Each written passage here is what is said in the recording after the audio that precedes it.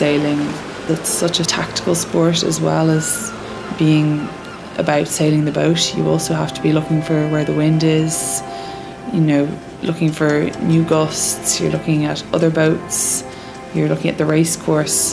There's a lot going on, so you have to be really switched on to everything that's happening because if you miss one thing, that's the difference between finishing first and last in a race.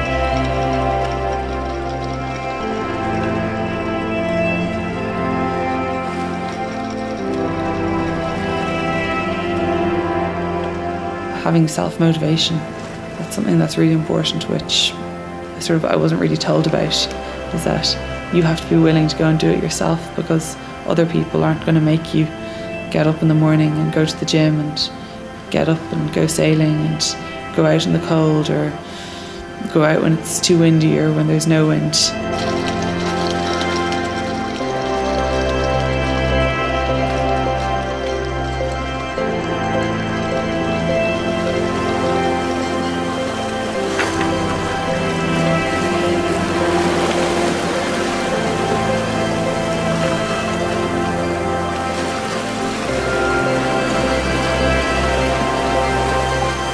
I love going fast.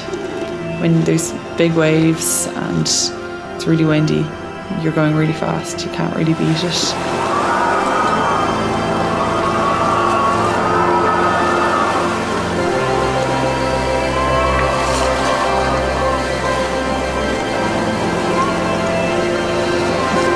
Even when I don't want to go training, I go out on the water because I know they're the days that are going to be the difference between me and my competitors.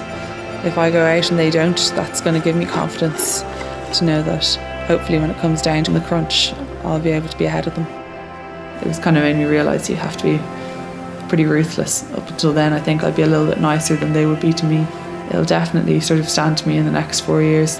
I think they've already noticed the first World Cup event I did this year that like you don't want to mess around with me anymore.